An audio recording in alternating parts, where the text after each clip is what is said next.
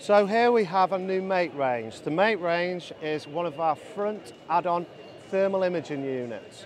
Now with this unit, this is the 50mm objective lens. It has internal battery, really good idea. So you've got a remote control, which is fully magnetic, which won't come off in the field, put into your pocket.